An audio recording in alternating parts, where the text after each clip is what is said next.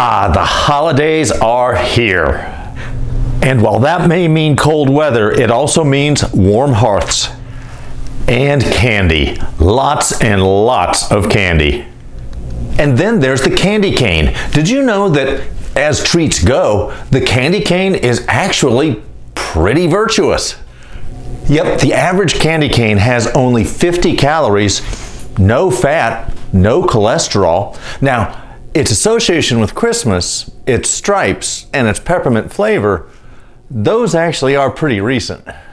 So how did we get that crafty crook anyway? That is what we are going to check out.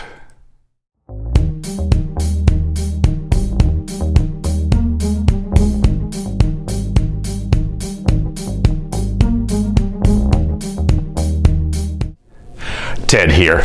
Sugar actually only made it to Europe around 1100 AD, and that was a product of the Crusades, actually. It was an expensive luxury item, with one pound of sugar back then costing the equivalent of between 50 to 100 of today's dollars. Now, when Columbus went on his second voyage to the New World, he brought with him sugarcane to plant in the Caribbean. Within 60 years, there were 3,000 sugar mills in the Caribbean and in Central America. So, by the 1600s, sugar candies were becoming the rage in Europe. In 1670, at the Cologne Cathedral in Germany, the choir master had a problem. You see, the choir boys tended to get restless during the worship service and misbehave, causing a distraction for the worshipers. His solution? Bribery. The logic makes sense. Give them a hard candy, something to suck on. They'll keep their mouths shut. They'll be quiet. Now, as effective as it was, giving misbehaving children candy was frowned upon. So, to get around the complaints, he took a simple white pulled sugar stick and bent it into a hook shape. That way, he could claim that he was using the candies not as a bribe, but as a lesson about Christ, the Good Shepherd, as the candy now looked like a shepherd's crook. Still, the canes were not mint flavored, not striped, nor were they even associated yet with Christmas.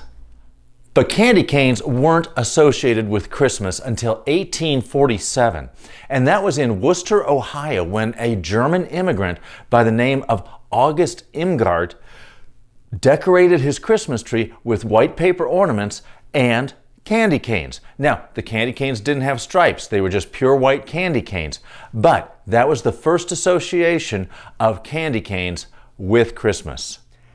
Now here's a fun Atlanta connection. It was in the 1920s when Atlanta native Bob McCormack started making striped candy canes flavored with peppermint.